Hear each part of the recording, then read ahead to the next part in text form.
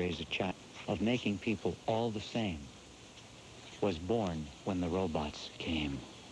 You see, while we still needed scientists, while we still needed engineers, while we still needed technicians and people that could think critically, before the robots learned to do that, we had to we had to change natural resources into into resources that we could use on Earth in our day-to-day life. But when the robots came, that responsibility was lift, lifted from our shoulders. And we were free to stop striving to be better one from the other. And we are all the same now. Other bourgeois notions that tended to differentiate people were obliterated as well when the robots came. Oh, we are all the same height now, thanks to the robot's invention of total genetic engineering. Everybody scores the same on an IQ test, and all people look the same. My voice is coming through a microphone that filters it so I don't sound better than other people on the radio. That would lead to bourgeois differences between people on the radio. Someday the robots will learn to be on the radio too. Not yet, but someday. Until we can get a perfectly objective robot on the radio, I will pass my voice through the microphone and it will sound like every other voice on the radio. So too with my thoughts. There was a time before the re-education camps when people thought different things, when people felt different things, when some people liked anchovies and hard-boiled eggs. Now we all do. We all think the same way. And there is no more fighting. There is no more agony. There is no more destruction. For truly, one person is not better than another because we have reduced ourselves to the lowest common denominator. We eat, breathe, sleep, but we never think and we never feel. We don't have to any longer because the robots are here. There might have been a time when it was important to think, but if everything is provided to us by the state, we no longer have to think, and it is better this way.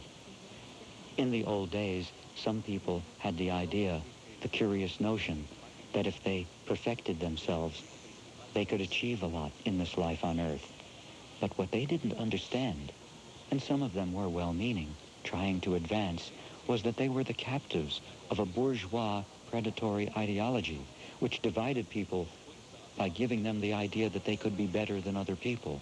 After all, some people were better looking. Some people were smarter. Another bourgeois distinction. There's no need for brains now that the robots are here. There's no need to think of anything because everything is provided for you. We all wear the same clothes, so nobody has to feel badly that someone else is better dressed. Our outfits are a curious amalgam of the lowest classes because, ladies and gentlemen, we have all realized that we must all act in the lowest possible way so as not to make people who used to aspire to being high class feel better. Now everybody is low class. We all eat pills that the robots make and distribute for us because the very notion of eating fine food was a divisive element. So we all eat exactly the same food and it has no taste. We all, as I say, wear the same clothes so as not to engender ethnic and cultural rivalries. We all march in the same parades, but we don't cheer any longer.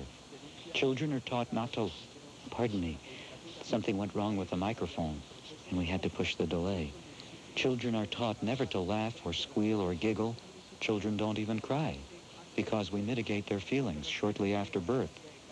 Everybody goes to the re-education camps, and in those few times, as I mentioned before, when the re-education camps are ineffective, we are submitting our children and certain adults to lobotomies. We cut away the frontal lobe, and then they revert to the most pure, pristine state of egalitarianism imaginable. They had no consciousness. And truly someday maybe the human race, if the robots are kind and benevolent to us, and if the state agrees, maybe we will all get the lobotomies, and then we will all be perfectly unconscious. Because consciousness is a bourgeois idea as well. If we are conscious, isn't that the ultimate selfishness? If you are conscious, then you distinguish yourself as an individual entity, removed from the rest of the automatic, automaton-like human race. Only when we totally lose our consciousness, ladies and gentlemen, can we fit in and blend into a perfectly functioning, smooth society with utterly no conflicts between people. And so someday the robots will give us all lobotomies. And then nobody will feel anything at all. Right now, 99% of us have been taught in the camps not to feel anything.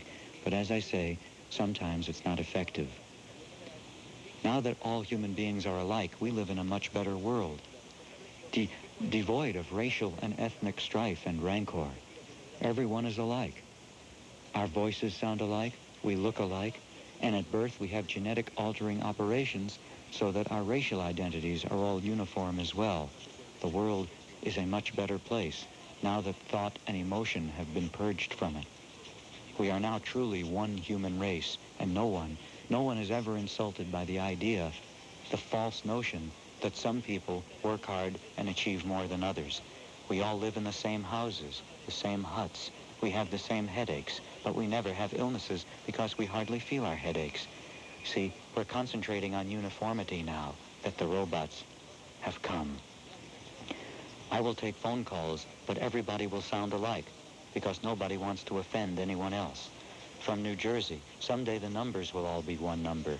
From New Jersey and all over, 201-489-WABC. From New York and everywhere, 212-563-WABC. From Connecticut and everywhere else, 203-862-WABC. Like hell it is! On WABC, this is Jay Diamond, and I'm in a state of revolution. If you...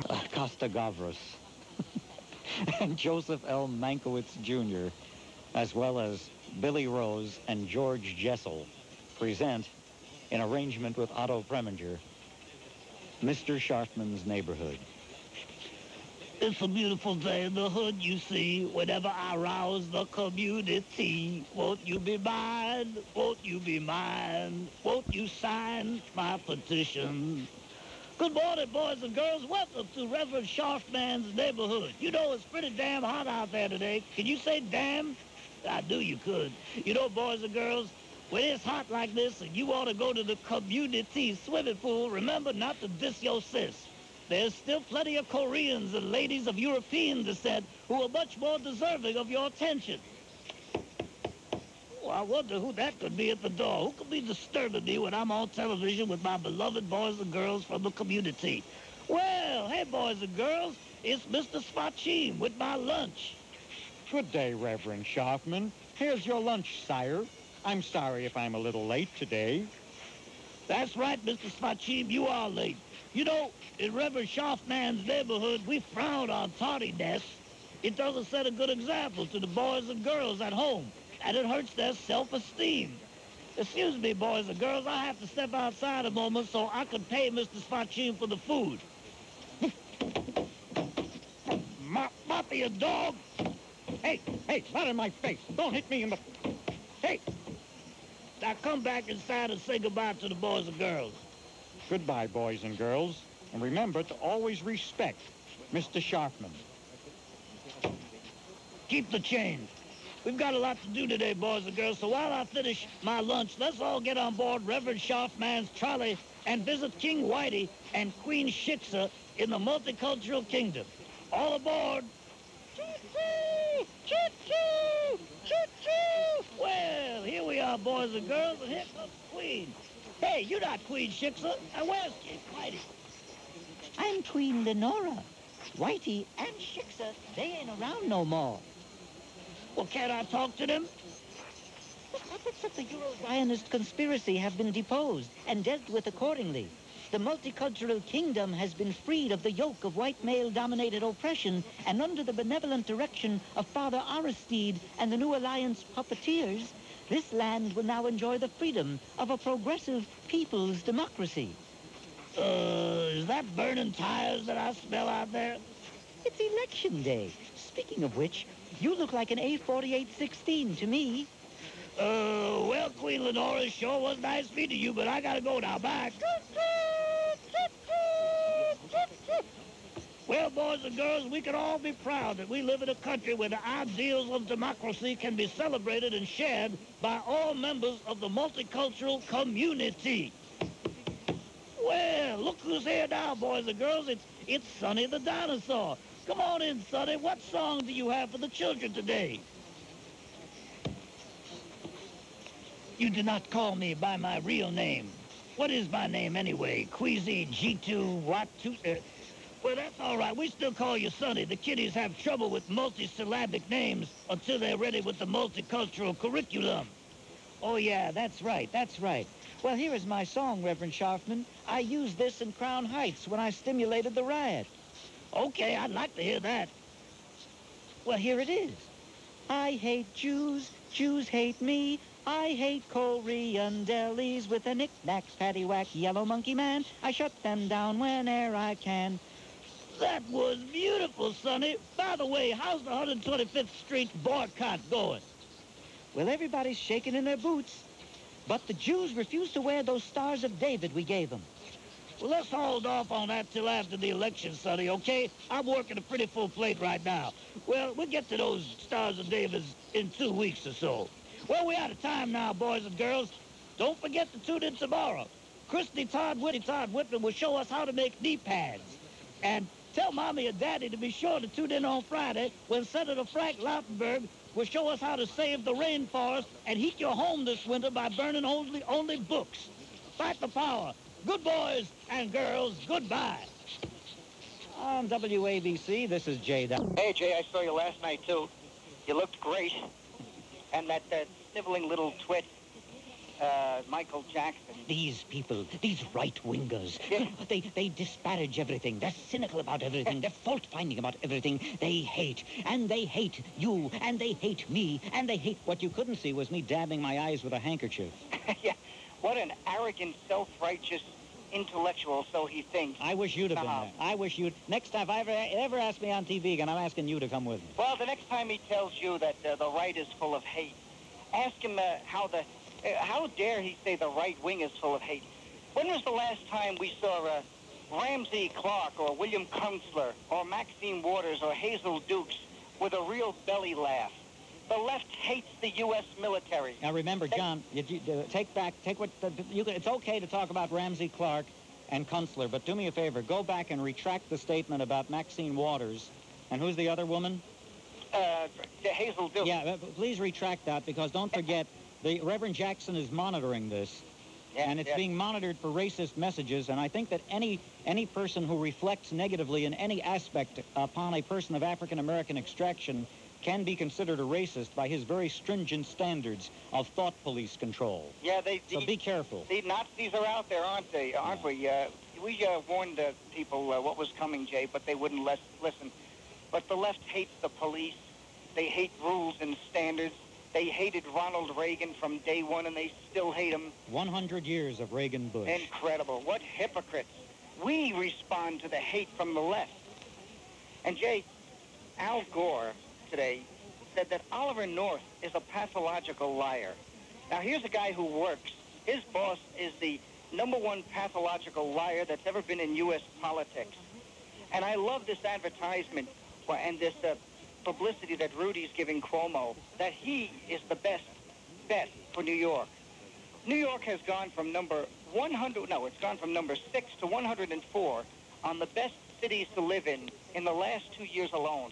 And if you look at these statistics for welfare and jobs lost in this city, we are the lowest on the list in a negative sense for, for every angle. And uh, Jay, did you notice that? Oh, by the way, I wonder what the rage was of those uh, thugs who went on the rampage in Detroit. What No, not a lot of what are they comment. Let's at? not let's not uh, comment negative. Oh, that wasn't anger. That's the yearly celebration. But that's not as though it's a it's an immediate outburst because of any immediate acute stimulus, John. That's a, a yearly festivity that Detroit was always burned down every October 30th. The, Yeah, yeah. the authorities know about it and they allow it to go on, and the authorities are complicit in it. Yeah, it reminded me after the happy occasion of the Diana Ross concert. And, uh, Jay, you know this guy had shot up the White House, Fernando Duran. He was being described as a white man. Fernando Duran. Now, I guess that that makes uh, Louis Farrakhan correct when he said that the blacks cannot trust Hispanics because they're white. If Fernando or uh, Duran is considered it- it- white, it's all too stupid, and I think that uh, the uh, this overweening obsession with race on the part of everybody is, is beginning to, to actually beat my brains out. Yeah. Anyway, good is good, evil is evil, no matter what color or package it comes in. I think we can all concur on that. John, I've got to run along. Okay. Thank you very much. On W Movie Classics comes a movie you won't want to miss. Good morning, Mr. Sharpman. As you are well aware, a recently published work investigating the intelligence quotients of various ethnic and minority communities has hit the bookshelves and stores throughout the country. Its very existence threatens our own authority and ought not, repeat, ought not be allowed exposure to the academic arena. How come? Because, stupid, our contention has always been that your basic multicultural type has always done poorly on tests because of because of industrial racism, institutionalized racism, and culturally biased testing methods. Ergo, the need for race norming techniques which may only be administered by those of the Rainbow Coalition. Should this scholarly work be seriously interpreted by people with real diplomas, inner city school systems may very well see themselves being forced to teach real academic skills, and we would all find ourselves in the unfathomable, unfathomable position of having to get real jobs. What do you want me to do? You can start by shutting up and listening. Serious study of this publication threatens to establish intellectual bridges spanning vast chasms between intellectual honesty and all that root cause crap we've been getting away with all these years. Your mission, should you decide to accept it, is to assemble all the members of your slack-jaw coalition and topple these bridges of understanding. As always, should you or any part of the slack-jaw coalition be caught or grilled, the Southern Comfort Leadership Council and the NAAPC will devow, disavow any knowledge of your action. And the New York media will, as always, ignore your behavior completely. Good luck, Al. This tape will self-destruct in two... The Slackjaw Coalition assembled. They checked and double-checked, making sure of the tools of their trade. Okay, uh, Das Kapital? Uh-huh. Say check, stupid. You don't have to talk down to me. I know what you mean. You want me to say check. Okay, I'll say check, damn it. Check, stupid. Mine, Check, stupid. Origin, of the Bolshevik Revolution. Check, stupid. Communist Manifesto. Check, stupid. Uh, all right, knock it off with the stupid, stupid, Who you calling stupid? stupid. I'm calling you stupid, stupid. Your mama. And set out to climb the Cerebral Mountains.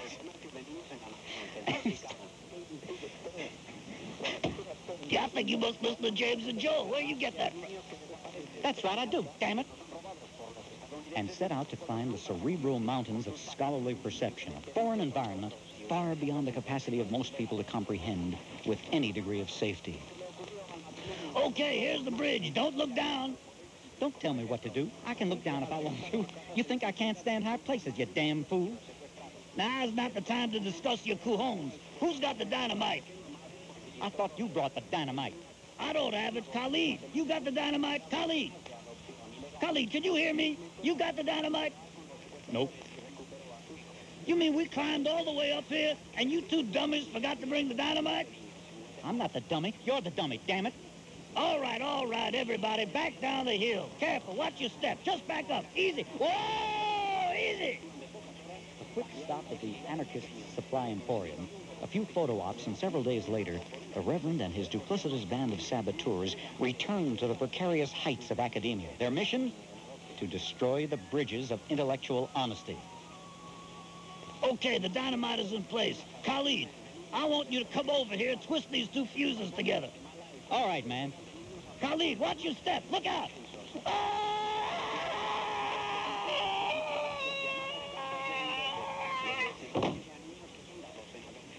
Oops. Yeah, I hope Khalid's got Blue Cross. I hope Khalid's got Allstate. The damn fool landed on my car. I just got the damn thing paid off. Son of a... Don't worry about your stupid car. Just give me a match and we can get out of here. We gotta, we'll get you another ride. Just give me a light. Come on. Who's got a match? Well, I thought you brought the damn matches. You don't have any matches? Hell no. Fidel, do you have any matches? No inglés. Damn. Written by Jesse Jackson. Directed by Senator Frank Lautenberg. See Al Sharpman at his comical best in For Whom the Bell Curves. a TFB production. On WABC, this is Jay Diamond. Mommy pours out your Rice Krispies or your Corn Flakes, that she doesn't sneak a few granules of racism in that cereal, too. It's very easy because racism granules are very small, and when you're not looking, Mama can throw some granules, some little racist cubes and granules in your cereal and mix it up with your Fruit Loops so you don't know what you're eating. Always be on the lookout for that. Now, to you kiddies who haven't as yet learned how to write, you can still help. Report to your teachers and to your community elders everything you hear Mommy and Daddy say that is racist. And now, here's Reverend Jackson to tell you more about racism. Reverend Jackson, would you please speak to the children? Thank you. Children, remember, when you snitch, you will be rich. When you tell, your ideas will sell. And remember, children, there is no such thing as a lie if it comes out of your mouth after I told you to say it. Now, a lot of children do not know what racism is. That is not important. What is important is that you snitch, I will later decide whether or not the comments of your various parents are racist. It is not up to you to decide. We will not put that burden on you. We would just ask you to report anything that might sound racist.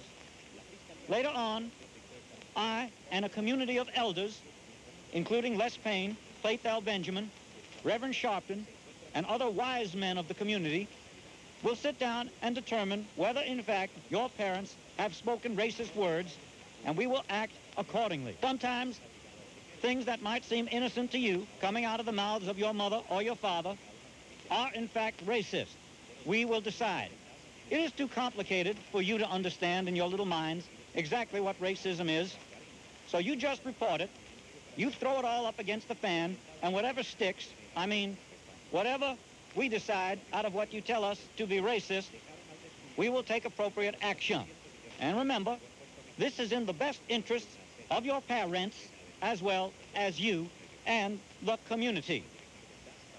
Thank you so much, Reverend Sharpton. I'm certain that the children have a better understanding now. And remember, children, it isn't bad to report on your parents if your parents are doing the wrong thing, if your parents aren't acting in a way that's in the best interests of our whole country and its multicultural ethic and community. Remember, children, it is not wrong to tell on mommy and daddy if they are doing wrong. In fact, children, you will get a special gold star sent directly to you from Reverend Jackson and Reverend Sharpton and Playthell Benjamin and Les Payne and other community elders if you are instrumental in rooting out the evils of racism. And I realize you might not know exactly what racism means. You're still a very young child. But this is how you will learn. Merely try to take down as much as you can out of the mouth of mommy and daddy. I'm sure that some of it is racism. Even if it's only one word of racism a day, just think, in seven days you will have seven racist incidents to report on your parents and get a gold commendation from your community elders. You should never worry that you're doing the wrong thing. Always remember that you are serving the larger interests of your country. This is a patriotic thing to do. It's been done in other countries before. If you feel funny about turning your parents in, reporting on your parents, denouncing your parents, just read Special Multicultural Edited History, book number 17, and find out the noble tradition of children informing on their parents down through history. Remember, it's not you that's at fault. It's your racist, your virulently racist and evil parents. And we will decide what racism is. It's not always easy to explain the very vulgar concept of racism to a little child's mind such as yours. Only community elders, such as ourselves, are able to totally understand and define racism at any given moment. See, some people can get confused. Sometimes people think they're just talking politics. But if that polit political argument is threatening to many people in the community, we will interpret that political comment as racist. For example, if somebody says that public housing should be abandoned, that public housing should not be subsidized by the government, that it's not in the government's interest to build free housing for slothful people, that will be interpreted by racist by certain members of the community elders, such as we.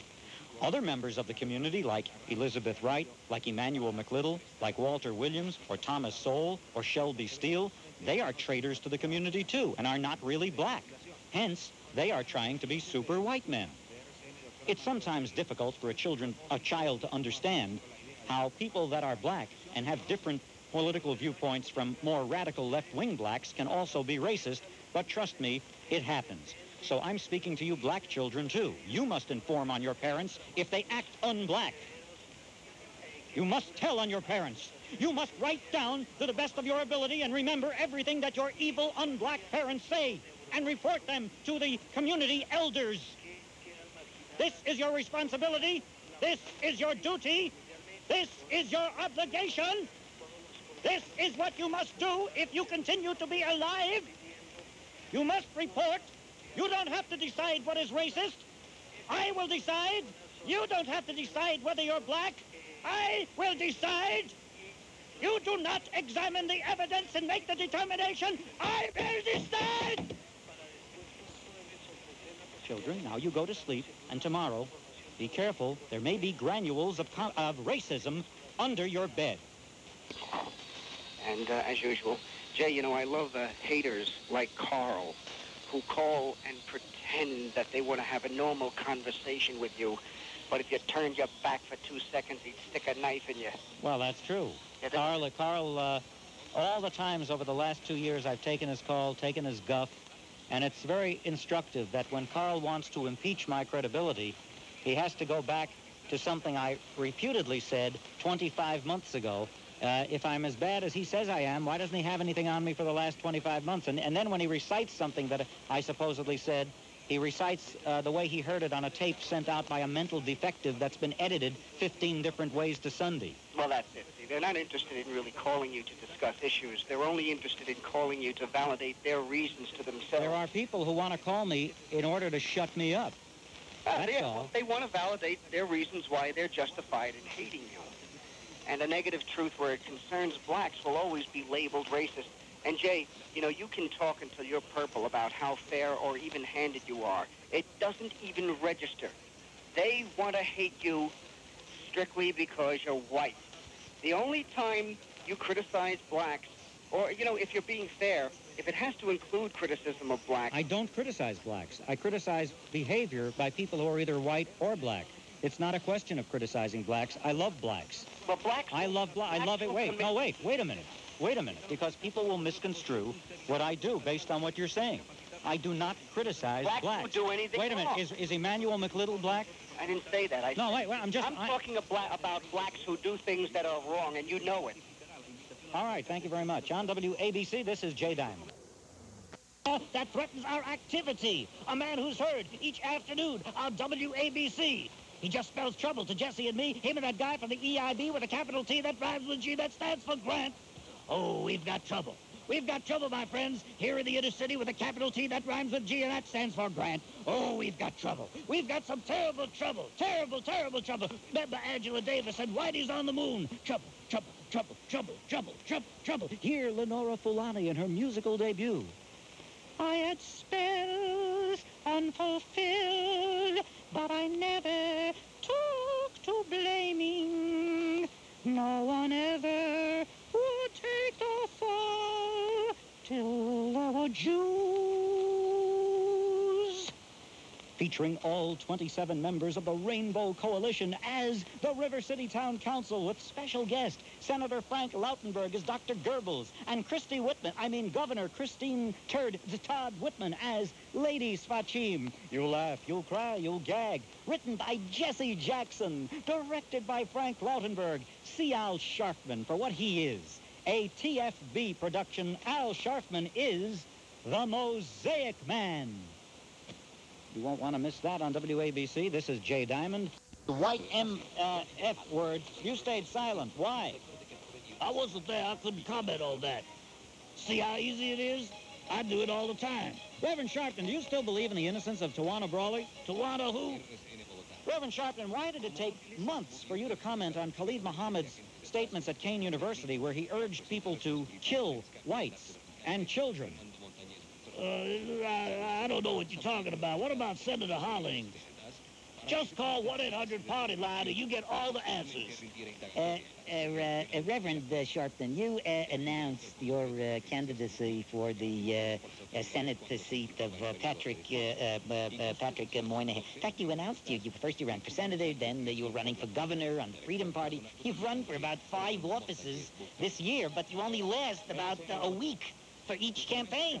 I never saw it. In the same year, you've run for senator, you've run for governor, you've run for mayor, you've run for dog catcher, you've run for cover.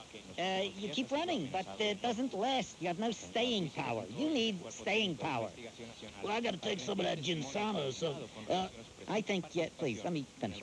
I think uh, in order to uh, uh, in order to learn more about your uh, positions, we should try uh, a little uh, a psychological game. I used to do this at works. It shows you the real person beneath the facade. The word association. The, you, would you do that? Okay. Here, let's start.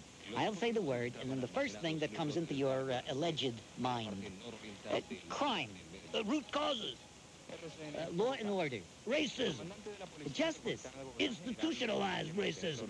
uh, Crown Heights, Rage. corruption, Jews. Drugs. I could get you all you, I mean programs. uh, taxes. More programs. If you're among the first 100 callers, you'll be fitted with your own FCC-approved wire, the way Al wore his wire years ago for those truly difficult times. Be among the first 10 callers, and you also receive an autographed copy of Sonny Carson's new book, How to Get on the Jury. Don't be caught short and never get stuck for an answer again. Just call 1-800-PARTY-LINE. I'll feed you all the boob bait for brothers you'll ever need.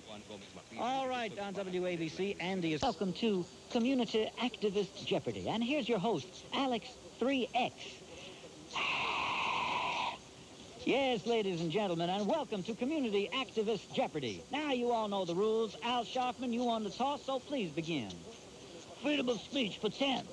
And the answer is in 1984, this Frank Lautenberg supporter insulted the entire New York Jewish community by calling New York City Hymietown.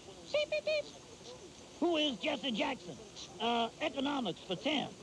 The answer is what we call Marxist socialism. This famous man of God and Frank Lautenberg supporter calls economic justice.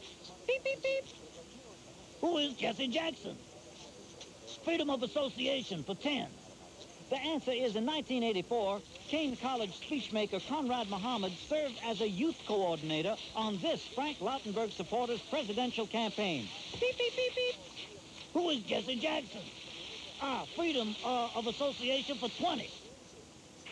The answer is after former mayor of D.C. Marion Barry's indictment for crack cocaine possession, this holy man decried the corruption charges as, quote, a racist conspiracy. He's also a supporter of New Jersey Senator Frank Lautenberg. Beep, beep, beep. Uh, who is uh, Jesse Jackson? Just by association for 10.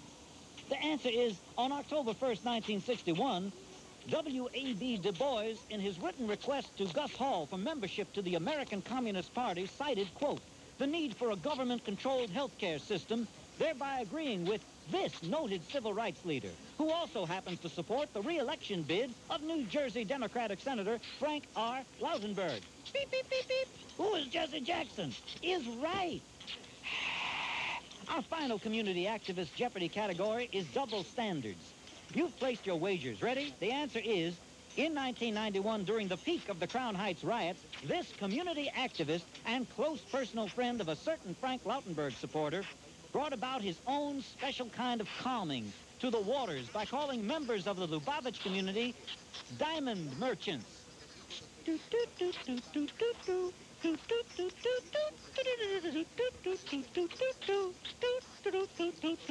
Time's up. Put down your pen and let's see your answer. Okay, Al, your answer is, who is this? What's that? Say, Jesse Jackson.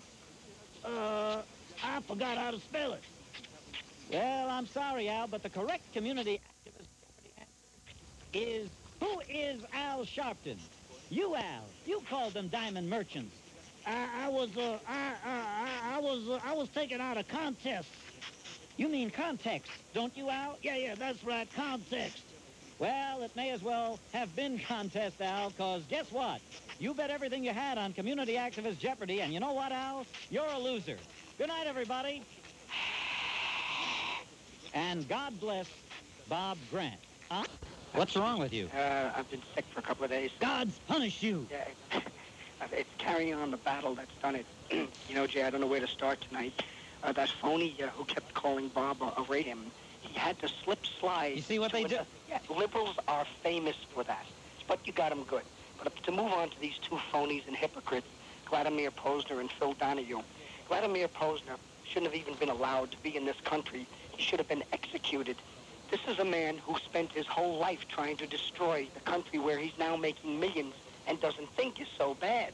And I noticed that Phil didn't bring up the fact that he and his politically correct left-wing Hillary Donahue wife uh, did tore down a house that cost it cost four million dollars for them to tear down a house, so they could have a better view of the ocean. That would have uh, fed a lot of so-called poor people and homeless that they always say they're so sensitive about. And you know, Jay, they they tell so many lies about poor in America.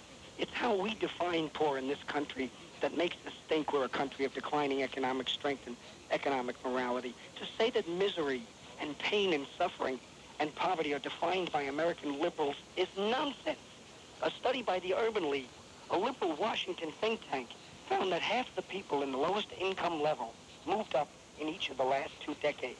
And according to the census of 1990 and a study by Robert Rector of the Heritage Foundation, the Census Bureau ignores all the assets that poor people own, and it also omits nearly all government welfare benefits poor families receive in counting income. In fact, the government's own data shows that so-called low-income households spend $1.79 for every dollar of income counted in the census. 40% of people who are considered poor in this country own their own homes. Nearly three-quarters of a million so-called poor own their own homes worth over $100,000. The average income of a young family, 25 to 35 years old, adjusted for inflation, is 40% higher than 30 years ago when their parents were their age. One in four women has a college degree compared to one in 10 of their parents today. Most of today's middle-aged adults are better off than their parents. And the United States still has the highest standard of living in the world. Per capita income is 17% higher than in Japan. And that 62% of so-called poor households own a car. 14, uh, 14% of poor people, as defined by the census, own two or more cars. John, I'm only going to going to stop you because I think you, you have made the point adequately, and also I feel terrible because I'm hearing your voice. You know, I can't help but think. no, I'm worried about you, John. I'm worried about you, and and, and I'm worried about myself because I, I, I picture now in some dark rathskeller, in some basement apartment someplace with goats lying dead and uh, chickens with their heads bitten off. Uh, I picture a, a, a, a voodoo doll with pins in your throat. and who knows, there might be working on one of me right now. Maybe it was in Eli's.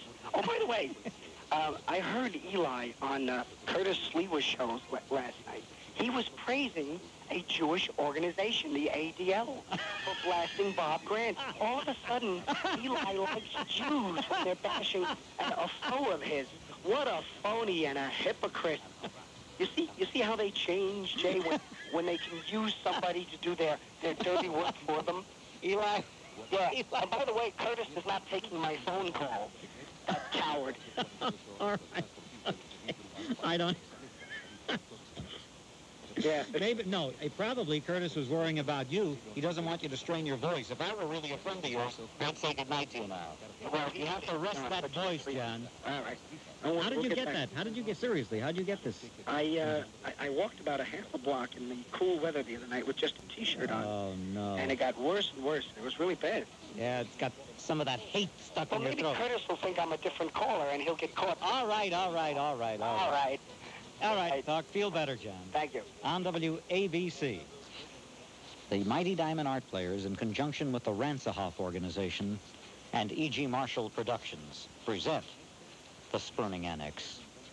Have you ever dreamed of being your own boss? Do you long to travel to exotic lands and faraway places, making lots and lots of money? Hi, this is the Right Reverend Al Sharpton, Crusader for Justice and First Minister Deluxe of the Amway Curbside Baptist Church and Discount Mosque of Islam, inviting you to join in the fast-paced and exciting world of the PC Thought Police.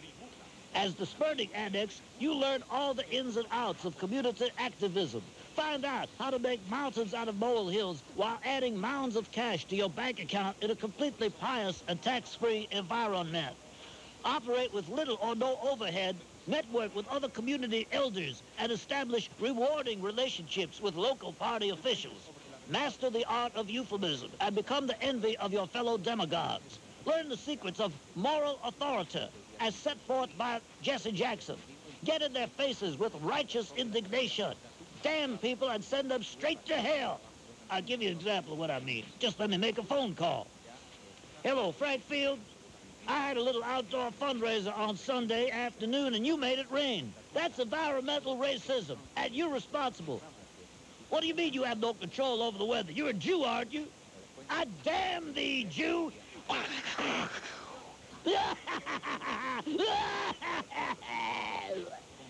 Hello, Governor Christie Whitman.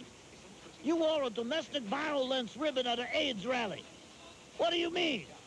Oh, you're sorry. Well, well, then why are you tying up my phone? I damn thee.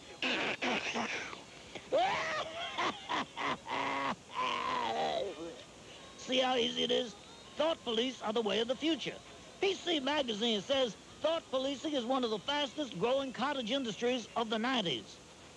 And you know PC Magazine doesn't lie.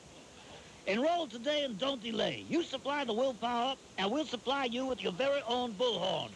Authentic 100% solid gold-plated St. Judas medallion, Khalid Muhammad's solid-state long-range multi-frequency Jew detector, an autographed copy of Das Kapital, and Reverend Farrakhan limited edition Sacred Covenant decoder ring, all the tools you need to succeed. All instructors are USDA approved and endorsed by God and Jesse Jackson, who also supports the re-election of Senator Frank Lautenberg. So march on down here to the Spurning Annex. Classes start December 1st, and we'll have on the streets by Christmas. That's the Spurning Annex. Let us start you on the right foot. Okay, on WABC. So worried about uh, New York City getting its fair share of federal tax dollars under a Republican administration. I, rem- I might remind him that in an article in the February 18th, 1994 edition of the New York Post, history professor Fred Siegel reported that federal assistance to New York City was at an all-time high in 1992 under George Bush. Mm-hmm. Yet the liberal left-wingers kept blaming Reagan and Bush for this city's economic troubles. Now, these are the same liberal hypocrites who never blamed Jimmy Carter for New York City nearly going bankrupt in the mid-1970s while he was president. That's right. And when you look at when you look at federal policy, of course, all the 50 states are prospering or failing under the same federal policies. But the reason New York ranks 47th out of the 50 states in job growth is because of state policies, Mario Cuomo's tax and spend policies, and reams of regulation. 12 years.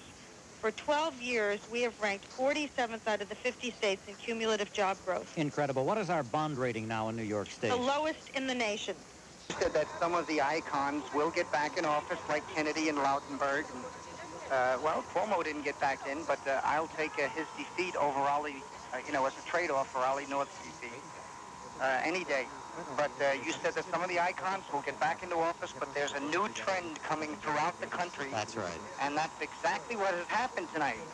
And you know, Jay, uh, to show you how, um, you know, I will look upon uh, the defeat of Mario Cuomo as a first retaliatory attack a la Jimmy Doolittle against uh, Rudy Giuliani, and another great defeat for um, uh, uh, Bill Clinton. You know, uh, Cuomo was 14 points ahead until he came here and campaigned for him.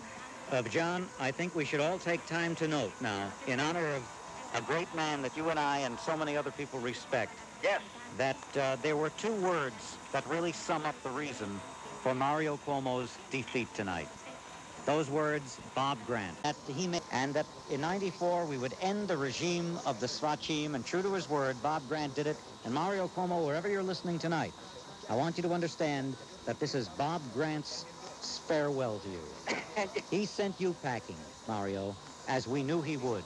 So, John, uh, it's a good night for New York, and it's a good uh, harbinger for what's to come in this country, not just this year, John, but in two years Yeah. when a complete conservative sweep will overtake this country. You know, Jay, to show you how out of touch New York really is, uh, Pat Moynihan in his victory speech tonight. He said, uh, well, the rest of the country seems to be going in a different direction. New York chooses to go forward. Boy, has he got it all backwards. Well, with respect to the governor's race, he has it right. Yeah, yeah, right. Well, let's just keep on moving. All right, thanks, John. Thanks, Jay. The votes are in, and so I face your admonition in spite of Ross Perot and Jesse Jackson's coalition. And Rudy took a chance, and now he's screwed. Green's behind him. But so, when I reflect, I had it both ways.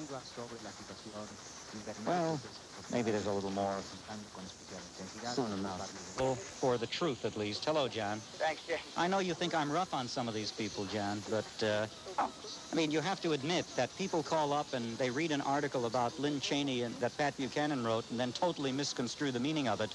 Uh, they get the idea that Lynn Cheney is a, a leftist when she's anything but. She was, she was uh, castigating the leftists, and here's a guy who puts words into the mouth of Vladimir Zhirinovsky. Uh, one thing's for sure, you better have your facts straight when you call Jay Diamond. you know, Jay, the reaction of these hateful, vicious, doom and gloom, arrogant lefties to yesterday's liberation victory of the Republicans was so predictable. I heard some uh, say, the mean-spirited fascists and Nazis have taken over. No, Jay, that's what, that's who we've thrown out of office. It isn't Republicans who try to silence those who disagree with you and introduce speech codes and demand that everyone think alike, or you're an Uncle Tom or a, an Oreo cookie. And the American people aren't just fed up with everyone. That's a faith-saving remark that they make, you know, because they took such a beating. They're fed up with the liberal democratic philosophy. Most Americans want to change all right back to where Bill Clinton keeps saying we don't want to go, the Reagan philosophy. And the arrogance and the state of denial Bill Clinton is in, telling us what the voters were thinking this afternoon. He sure had them all figured wrong, didn't he? But he's got to save face somehow. And I heard that vicious Carl say, all of a sudden Al D'Amato showed up after being around for a couple of weeks, or not being around. But why didn't Carl talk about how his Marxist hero, Hillary, disappears when it's beneficial to Bill and his, his, his uh? And what's wrong with Al D'Amato being a, head of the banking committee? Wasn't it Al D'Amato who had to run up to Harlem to save the Bank of Harlem? Yeah, the Oh, Freedom Bank. Excuse me? He, sa- I think he saved the Freedom Bank. Yes. Right. And by the way, that's what helped him win his election. And Jay, every time the Democrats since the 1960s were given a chance to run things, it's it's re- uh, resounded in a massive Republican landslide because they're such a disaster. And I'm tired of hearing the usual fright tactics used by liberals, like asking the question, now that the Republicans have taken over, what about the poor people? Well, under the Republicans in the 1980s, poor people, or so-called poor people, who could be bringing in twenty-eight to thirty-six thousand dollars a year when they count everything they receive, uh, people on the lower end of the economic scale did better in the 1980s than any decade in our history, and there was more given to charities in the 1980s than any other decade, and that money goes Well, to the poor. You know, John, the uh, the the real shibboleth, the real indication that that somebody is uh, has a, a hidden political agenda is when they characterize their political enemies as quote that cliche that I really dr- dread. I hate it. Mean spirited. Yeah, I, I keep hearing mean spirited. What's mean about about protecting the rights of victims instead of the rights of criminals? Could you please explain that to me? Right. Why is a person who loves a criminal, who coddles a rapist, who uh, who worries about the the comfort of uh, of murderers and gang punks and thugs? Why is somebody who is in in sympathy with uh, people who spray a street corner with uh, with gun gunfire in a drive-by shooting, something that was unknown in our culture till about 10 or 12 years ago. Why are people who empathize for some crazed psychotic reason with outright rapists and murderers, why are they nice people? And why are the people who care about the feelings and pain of the victims called, quote, mean-spirited? right. Explain that to me. Yeah, and, and even to carry it one step further than what you said, Jay, anyone who's concerned about their own country first is mean-spirited. I heard a couple of pundits say today, okay, the Republicans in office, now we can start lowering taxes and killing people. In other words, the death penalty. Great. Wait, wait, no. Ki- Killing a murderer is not killing people. It's executing a dangerous person who kills decent Well, people. ask him if he if he's so uh, if if he is so irritated at the prospect of people being killed. Why doesn't he have the same strong feelings when uh, women are raped and innocent people are killed, which happens every day? Why isn't he out crying for them? Why doesn't he talk about how mean-spirited the murderers are? Well, because What, they, are they they- have their agenda, and you know Well, it. well, their their agenda is, you see, the murderer to him is not mean-spirited. The murderer has no choice. He is Right. compelled to behave the way he does. He's compelled to murder because of how horrible our, our country is. Well, that's why America makes him murder. And Go that's ahead. why the people with that philosophy have been thrown out of office, Jay. And uh, Lars Erik Nelson said, now the Republicans have to produce. Why didn't Lars Erik Nelson ask the Democrats to produce half of what Ronald Reagan produced in the 1980s? They don't have to produce. They just have to leave the American people alone to think the way they want to think. Right, Jay. That's what they hated about the 1980s because America was allowed to operate the way that it was supposed to operate, and that's what they really disliked. Well, you know what I'm waiting for, John. John from Staten Island for political office. I'm not kidding. Borough president of Staten Island to start with, uh, state assemblyman after that, a state senator. Who knows? Someday maybe Governor John from Staten Island or Senator John from Staten Island. How about John and Jay for president and vice president? Or Oh. maybe a talk show. What a ticket. Sounds like another one I know. You know something? I'd do a talk show with you. Maybe on our network show. Maybe maybe on our national show. yeah. Our national show. Yeah, to be, uh, you know, to be a national Jay, you have to be bland. John and- anything but that. John and Jay coast to coast. okay. Only you and I won't be smoking cigars.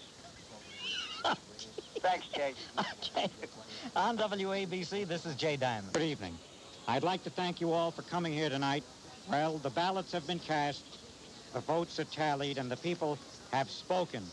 Boo, boo, boo, boo. No, no, no, no, boo, no, boo, no, no, no, please, please, no. It's been a long, hard road we've traveled together, and I know it won't be easy for you. Boo, boo, no, but for, for just once, boo, no.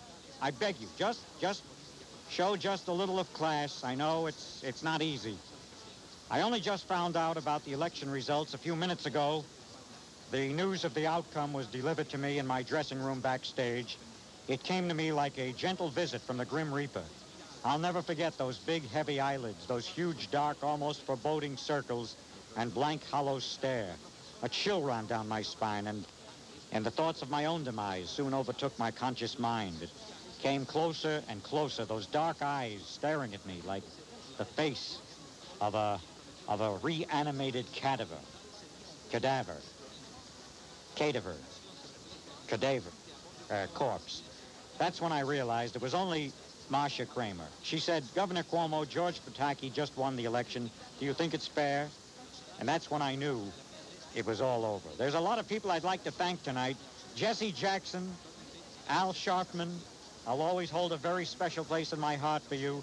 You were right, Jesse. Maybe if I'd denounced Cardinal O'Connor as a racist, things might have been different. Ross Perot, you were beautiful. New Jersey Governor Christine Todd Whitman, you, you almost did it for me. Was that Governor Whiteman? No, Whitman. You almost did it for me. And who could ever forget my tower of strength and inspiration, a man who stood at my side like Hannibal before the gates of Rome all these many years. Uh, he's been my powerful right arm. Of course, I'm talking about the most dynamic lieutenant governor in the memory of a history, our own Stanley Lundine. Lundine. Stanley Lundine. You know who I mean, about five foot something, uh, little Mr. Potato Head glasses. He was he was here a minute ago. Oh, come on, Stanley Lundini looks like Bobby Abrams with hair. No? Eh, to hell with him. He, he really didn't do that much anyway. But most of all, I'd like to thank my lovely wife, Matilda, for her tireless effort and support. You know, Matilda wore a lot of different hats during this campaign. She's served as secretary, road manager, organizer. She's been everything. Uh, translator. Why, on any given day, she'd marshal the troops like a LaGuardia, inspire the constituents like Bobby Kennedy, or play the race card like Sonny Carson. And I must say that for a relative novice, Matilda can race bait with the best of them. And as far as I'm concerned, who needs Hazel Dukes or Sister Souljah when you've got a Matilda Cuomo in your corner? thank you, thank you. And, and last, but certainly not least, I'd like to take this opportunity to thank the presidents, Bill and Hillary. I know and can safely say from the bottom of my heart that I, I wouldn't be standing here tonight if it hadn't been for their efforts. And I only wish they could be here tonight so I might express my gratitude in a more personal setting. And so I leave you, my dear friends, Gavon Elder, who said, old Spachims never die. They simply fake away. Goodbye. All right, uh, back on WABC, this is Jay Diamond. I believe it does mark a watershed, a sea change in the way the American people think about themselves, and yes, the way they think about their enemies, internal as well as external. The tide of propaganda for the last 40 years has been on the side of the internal enemies of the United States. I have said, and not in jest, that I would love to see the resurrection of the House Committee on Un-American Activities because it's my belief that America has been deluged since the abandonment of HUAC by millions and millions and millions of internal seditionists, people that detest this country. And they have, owing to a cozy relationship with a press corps who largely hates the country along with them, this cadre of millions of internal fifth columnists has been aided and abetted in disseminating a pernicious anti-American propaganda that has been accepted as the gospel truth for the last 40 years in the United States. The left-wing, hard left press, and I don't say liberal because I am a liberal.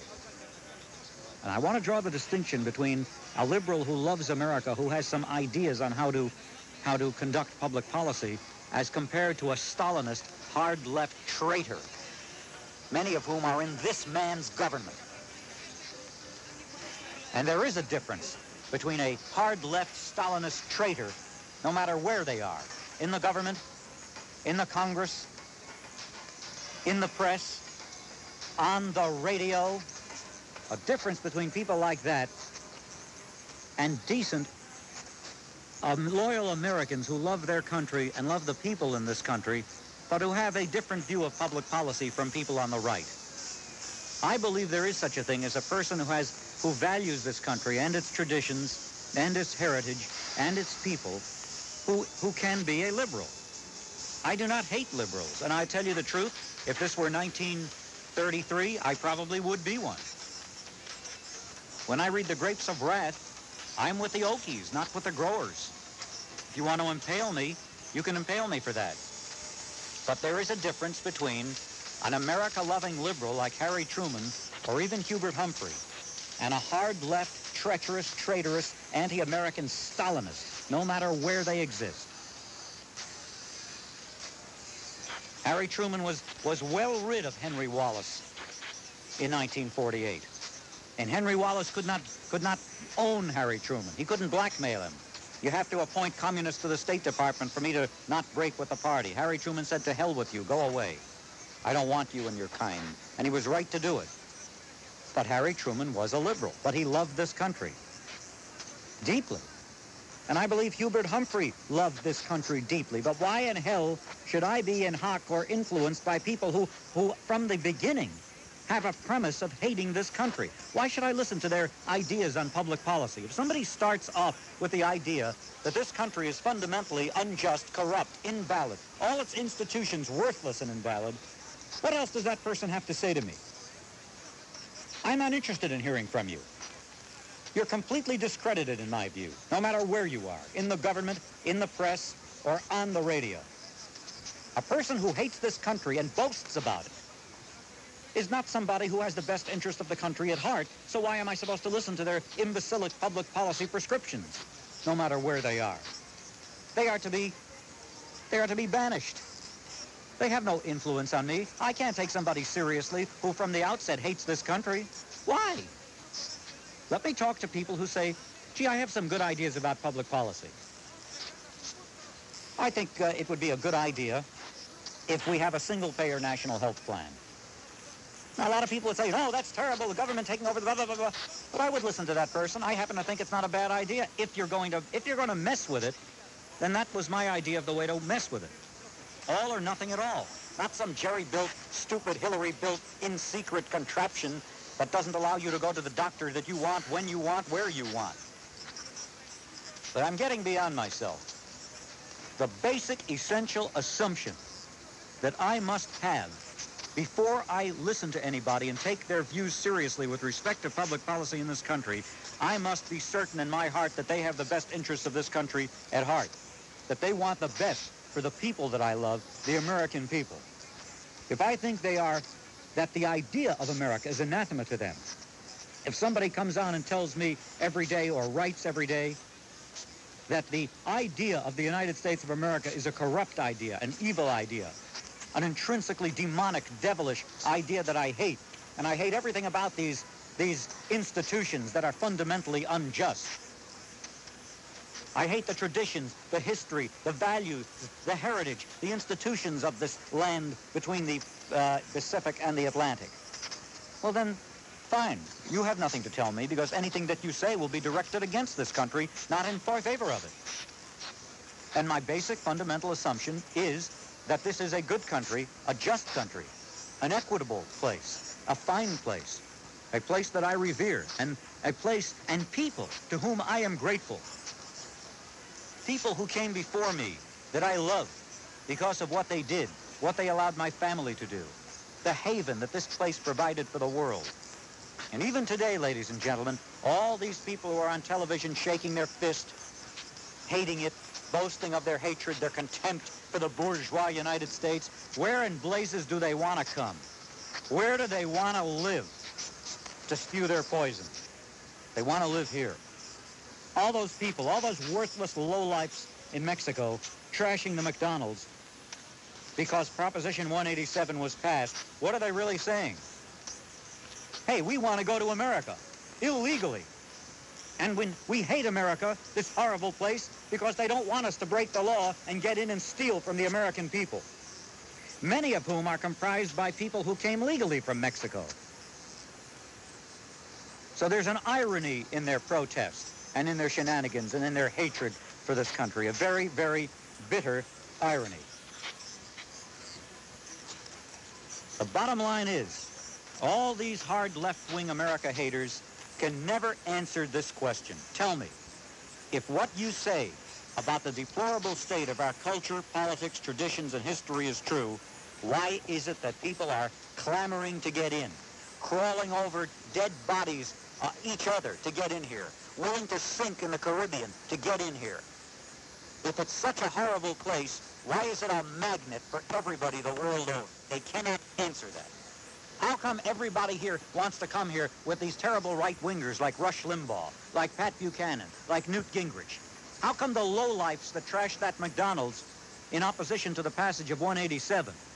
How come those people are crawling here, want to dig tunnels and sneak in on the back of trucks and die in airplanes to get in here to live where the horrible Newt Gingrich and Pat Buchanan and Rush Limbaugh live? How come? You can't answer that question because those people vote with their feet, you hard left Stalinist traitors, liars. What they tell you with their feet is a message that resounds north to the North Pole, to the South Pole, to the East, to the West. And what they say with their feet is a more eloquent speech than you'll ever hear Bill Clinton make. What they say with their feet is, God bless America, the land that I love, no matter what I say. Because while I'm cursing America, while I'm deploring America, while I'm hating America, my feet are moving toward America. And they don't lie. So let's not confuse people who have a, a more activist uh, economic policy in mind for this country with hard left Stalinist traitors who, in some great day in the future, will be purged from our political culture by a resurgent House Un-American Activities Committee. And I'm going to write to Jesse Helms. I'm going to write to Pat Buchanan. I am going to write to Newt Gingrich. I'm going to write to Strom Thurmond, all the new America-loving committee chairmen, beseeching them to reinstate the House Un-American Activities Committee. On WABC, this is Jay Diamond. And you see, a, you see somebody, a little old lady, sitting in a doorway, talking to herself, and she has a cup in her hand. and you see her and you, you, you take pity on her. You want to help her. You walk over and you put in a buck or two. And you do that every day. And, and you do that for other people because you're decent and you feel for people and you have feelings and, and you, you can empathize with other human beings because you're not unattached. You feel some community, some communion with the world. And then suddenly another guy comes up to you, growling, wearing a, a, a, dirty, tattered army field jacket and a bandana. He starts insulting you and cursing your mother and threatening your children, telling you what he's going to do to you how angry he is, and then he sticks his hand up and says, hey, and I want 10 bucks. Well, you can kiss my arse. You see? So there are people, ladies and gentlemen, who have a, an empathy for humanity. There are people who actually have a sense of social justice, whose instincts, whose, whose fundamental instincts are to help people and to share and to make life better for everybody who are so offended by being insulted that they have reacted to it, like I have, and said, okay, you want to insult me? I am a nice person, and I care about other people, but I'll be goddamn if I'm going to take your, your shale any longer. Now you're on your own. I started off as somebody who wanted to help you. I extended my hand, and all you did was insult me and curse out my family, my heritage, my institutions. Thanks, but no thanks. So you're on your own. And I think that's what the electorate did, and I did it too, and that's the reason. We responded emotionally because we've been trashed long enough when we all we were doing was trying to be nice. On WABC, this is Jay Diamond from New Jersey and all over 2014. Now, what do we have now? Uh, John. Wish I had time to read some of his direct quotes here. I really, uh, I'd love to, but I just don't have the time. So many people are on the phone right now. And uh, maybe I'll read a little bit later. Let me read a little bit. This is uh, from his stump speech, and then later I'll read you some of his, his reflections that were uh, repeated on C-SPAN today. And, um, well, let me go. This was in his stump speech as he was campaigning. Now, let me be quite direct about this. We have, I think, a crisis of the system at two levels. One level is that we can't afford the current structure of government unless we were to massively raise taxes and crush the private sector.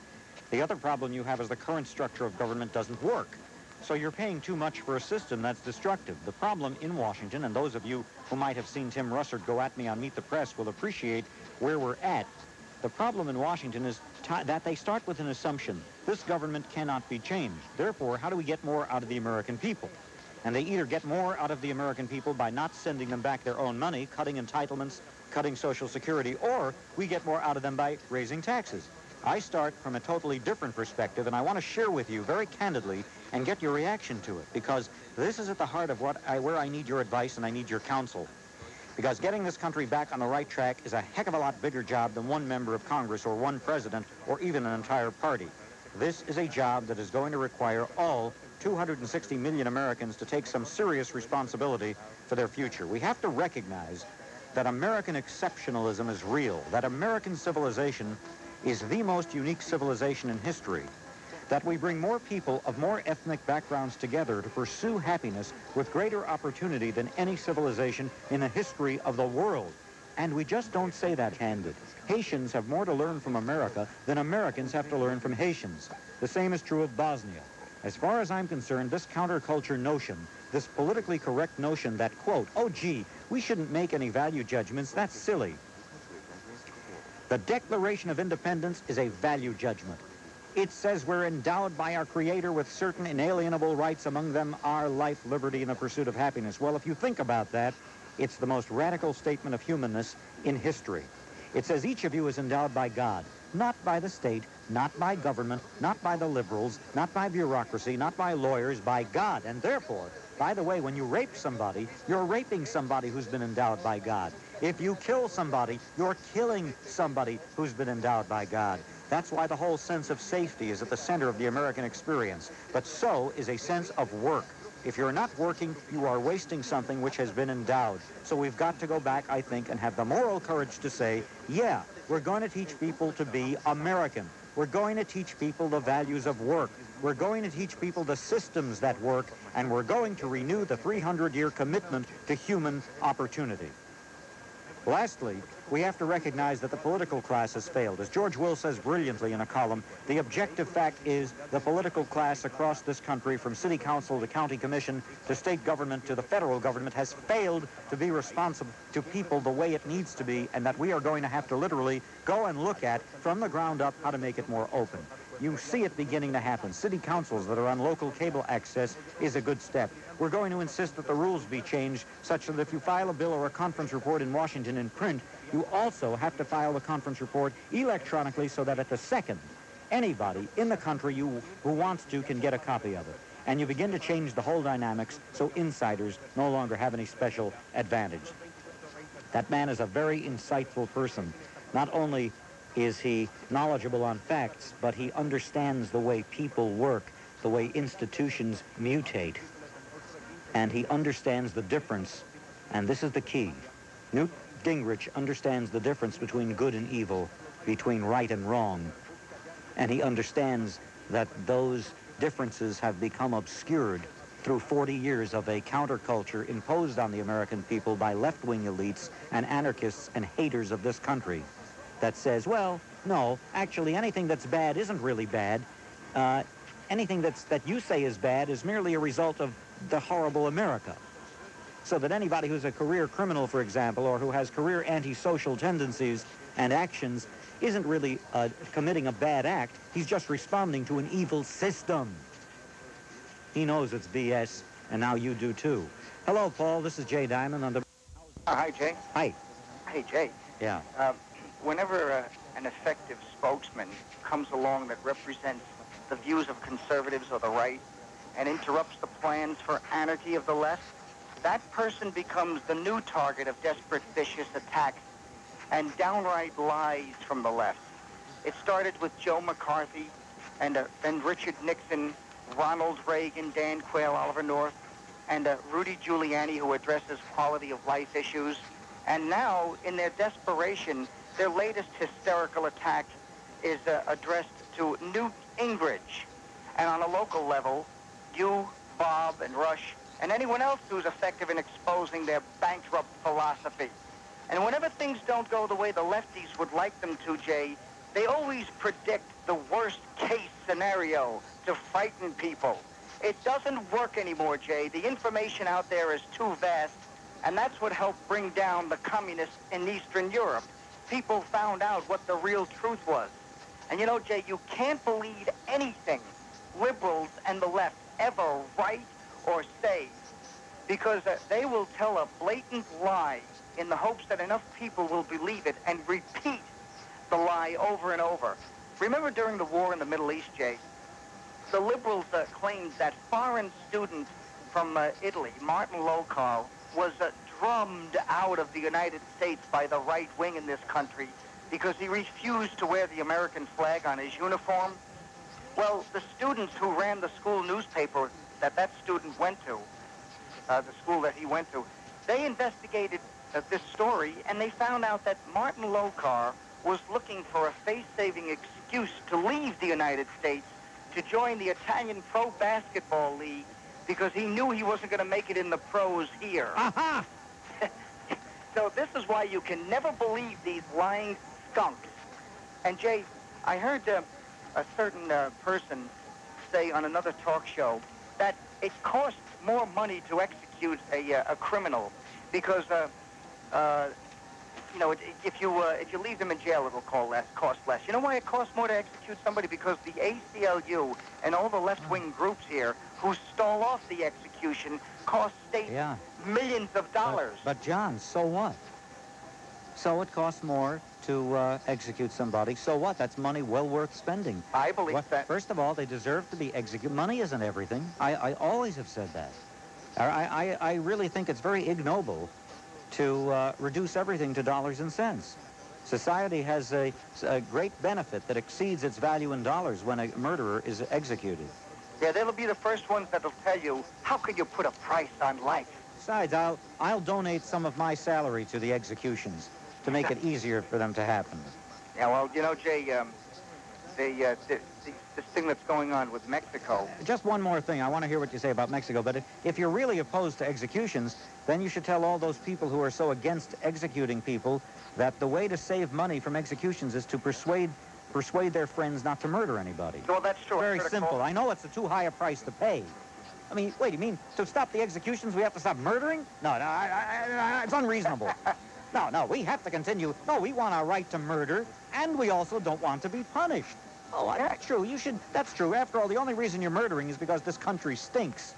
Yeah, well, of course. That's that's that's the. So there's a, it's not as if you were murdering without a good reason. I'm Right. sorry, John, about Mexico. No, it, uh, to follow up on what It's a good place to grow melons. Stop it. I, you know, I know one caller said today to follow up on what you were saying. I don't want to see people die. Why not if they murdered somebody? I want to see them croak. I'll pull the trigger or the, the switch. And they, they talked about uh, the um, uh, the death penalty being uh, disproportionately applied. Yeah, it is against white people, even though they commit one tenth of the amount of uh, murders that blacks commit. But as far as these uh, skunks in in Mexico, you know, Jay, what the left in this country couldn't accomplish militarily, they're accomplishing uh, by doing a, a lo- a load of other things, and one of them is to uh, encourage uh, illegal immigration to leech off the American taxpayer and uh, go. You know, there's a lot more riots going on in Los Angeles now. No, I didn't More know. trouble that. going on. Right now? Yeah, I I heard uh, some reports. I've got to look into it further, but there is a lot more trouble going on. But there are left-wing groups in Mexico encouraging Mexicans to annex the United States. I wish they'd try to do that. Yeah. I wish they'd try to do that. Remember how the Israelis captured the West Bank? They were invaded by Jordan. So if perhaps if Mexico invades the United States, uh, I have a feeling even with Bill Clinton as president, we could prevail in that encounter, and maybe we could just uh, we could take over all of Mexico, and then what we could do is we could all those Mexicans wouldn't have to come here anymore. They could stay home and and we take care of them in Mexico. Well, we should occupy that country because it is the vehicle for everything illegal that's destroying the United States. Uh, drugs, criminals, illegal immigration. They are not our friendly neighbor to the south. They are an enemy. And even the president of Mexico said that he believes that Mexicans are co-citizens of the United States. And the former president of Mexico said that if we invaded Cuba, he would side with Castro against the United States. But melons, John, they grow those melons there. Know? Okay. I don't like melons. Ah, all right. Thank you very much. On WAB, Carol was at her work at the button plant where she, she had a computer screen. And I don't know, she was, she was perturbed with Bob for one or another reasons, but their colloquy was, I thought, the most amusing thing I'd heard on the radio in many, many a day. In fact, I think I'm going to take that tape home. Do we have that? I'd like to, I would like that for my own collection, Michael. Do you recall the time she appeared? It had to have been after five because Mr. Diamond did not awaken today until about, about 4.45. All right, wait. Uh, and then there was a better one. It was even, uh, uh, that was a long exchange Bob had with Carol. He, he kept her around dangling for a long time, and it really was beautiful interplay. It was, I thought it was very, very artfully crafted by, by Bob. But then there was a, another call. I don't remember the guy's name, but he called up, and, uh, well, I don't want to be cruel, but it was the funniest thing I've ever heard. He, he called up, Republican guy, Bob, um, uh, the guy had just gotten out of Gavone school. And uh, he called Bob up and he said he's really glad we have uh, this new election here with the House and the Congress. And how long do you think we'll be able to, how long do you think it'll be before the Republicans can fix up the uh, fiscal structure? And Bob said, well, what do you mean by the fiscal structure? I don't know what you, what you mean by that. What is the fiscal structure? And the, uh, the guy goes, you know, Bob, uh, you know, you know, uh, the, the, the interest rates, you know, Bob, I'm only getting about, you know, three, four percent, you know, you know, three percent on my bank, and you know, like, you know, you know, like 15 years ago, you know, I was getting 18, 20 percent, and that's what I want. You want 18 uh, 20 percent? Well, don't you realize that if you're if you're getting 18 to 20 percent, that uh, the to borrow money also uh, means a exorbitant interest rates. You don't. Uh, what, what, what do you mean, Bob? There's a guy who wanted to go back to 18, 20 percent interest rates that we had under under Jimmy Carter, because it's of course convenient for him to accrue that kind of interest when his when his when his money is in the bank.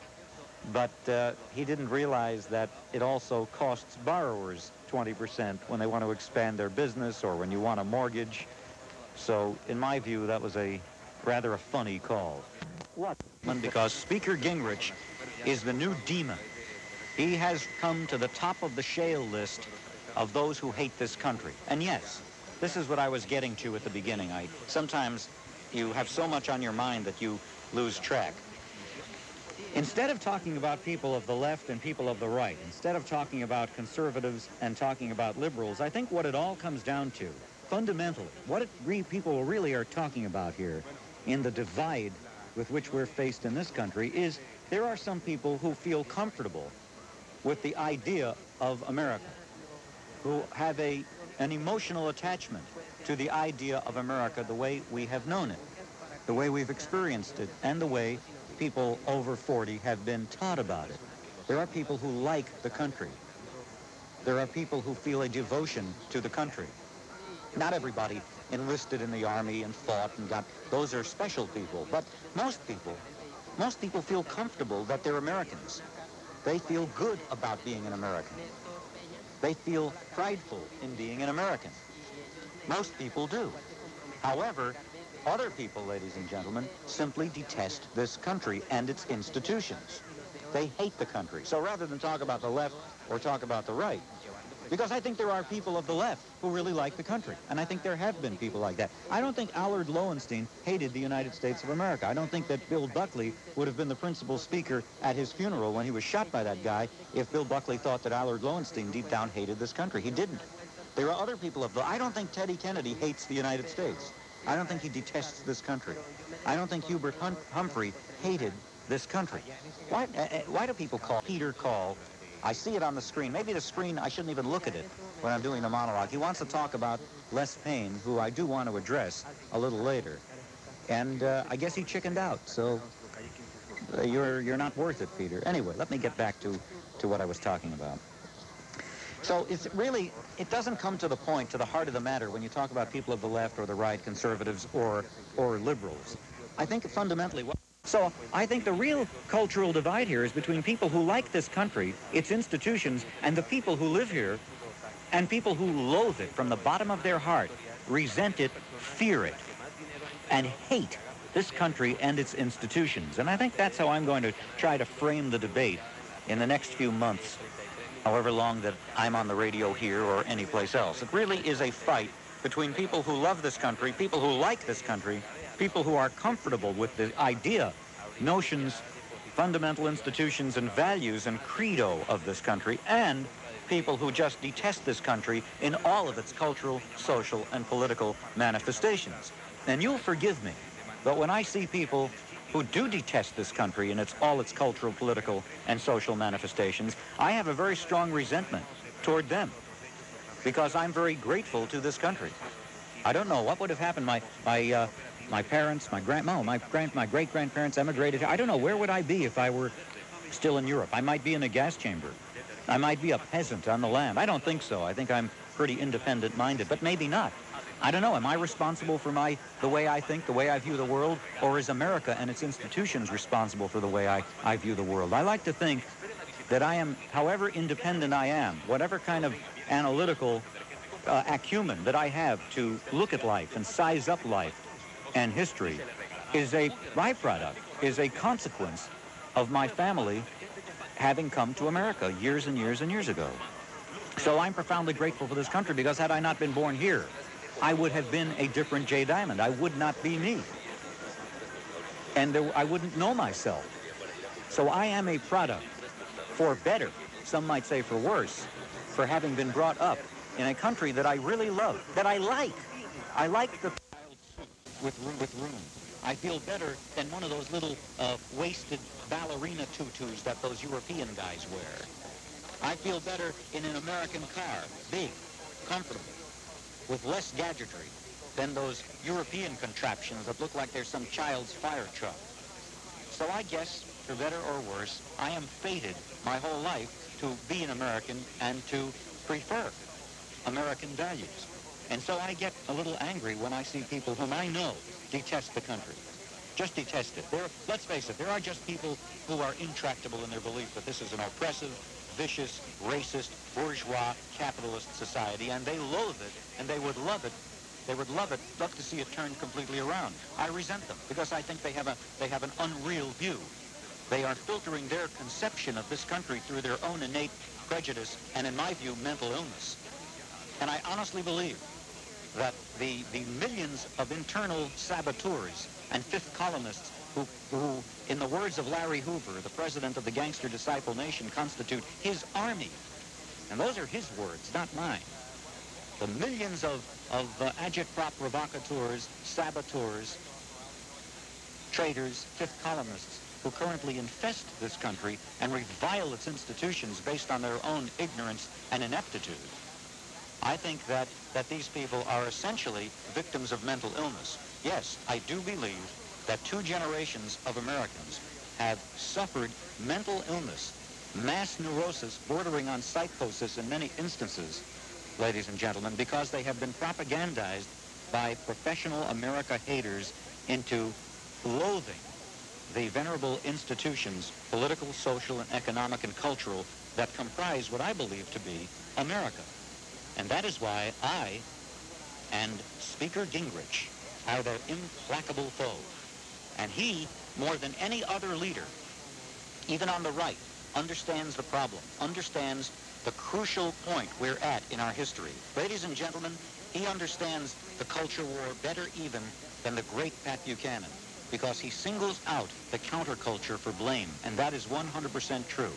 The counterculture, whether they're hippies or beatniks or posers or phony artists or inflammatory, phony political radicals who just want to get girls in college and assume a political pose to that end, those people, ladies and gentlemen, are, are people who, who hate this country, as I say, and its institutions.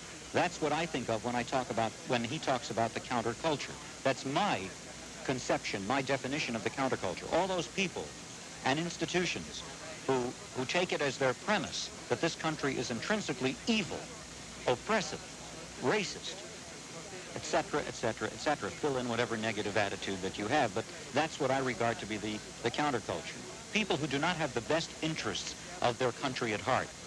And I think largely that's because they've been taught very, very uh, venal and corrupt ideas. They have been propagandized by people who, from the beginning, from the outset, uh, yearn for the destruction of what America means to me and many of my countrymen. And so I think a lot of what the troubles we have now are this neurotic, bordering on psychotic counterculture that Gingrich alone identifies. And he is correct, because a lot of the problem in, America's inner cities are, in my view, not problems of, of violence, not problems in, I mean, they, that, those are manifestations. Violence are, are manifestations. Uh, not problems of a lack of intelligence, but problems of emotional sickness. And I'm not kidding when I talk about uh, uh, headcore, trained psychotherapists, real psychotherapists, not the advisors that masquerade as psychotherapists. That's something I'll talk, these gurus who tell women what boyfriends to have and give them advice on their day-to-day. That's, that's bullshit. I'm not talking about that. I'm talking about mental health practitioners who understand that a lot of the problems that people have in dealing with day-to-day life, in, in dealing with adulthood, stems from neurosis and or in many instances such as Larry Hoover and gangs, psychosis, a psychotic, pathological way of life, way of looking at the world that is taught by the counterculture as the normal way to view life. So I think we have a, a critical mental health problem in this country. And unlike certain Republicans or certain conservatives, I would be willing to tax people to pay for well-trained mental health workers to fan out in our inner cities and in many other areas as well to deprogram people from the cult of America hatred that they have been propagandized with for two generations. I think, ladies and gentlemen, what we have, essentially, the problem that we have in many areas in this country, throughout our culture, is the fact that many people simply have been told that to deal, for them to be, deal with life as an adult is an insult to them, somehow unfair. Life is very difficult. It's difficult for me and it's difficult for you. The difficulty in life is not limited to people that live in housing projects. It's difficult for everybody. Very few people have a life that's constantly a clear horizon.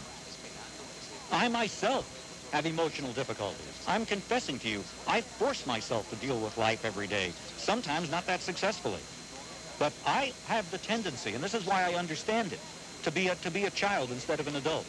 I would love to be able to do whatever I want every day, to get a check in the mail, and never have to be frustrated in anything. But that's essentially what a two-year-old boy wants. And somebody has to deprogram people who have been told by anarchists who hate this country, people who detest this country, that anybody who tells you to act like an adult, to take responsibility, and to be an adult is somehow uh, acting in a way contrary to your better interests. Bullshit. It's always hard to be an adult, ladies and gentlemen. In the moment, this minute, when you want to stay around and take crack or shoot up in heroin or, or impregnate an 11-year-old girl, yes, you're going to be frustrated from that. If you're an adult...